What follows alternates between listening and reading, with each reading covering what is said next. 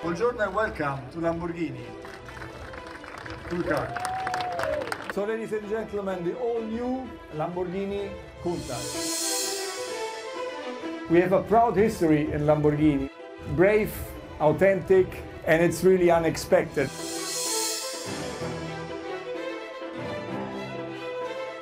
Fifty years ago, there was the launch of the Countach. It was a car which was a game changer, but not only for uh, Lamborghini, also for the entire automotive super sports car industry.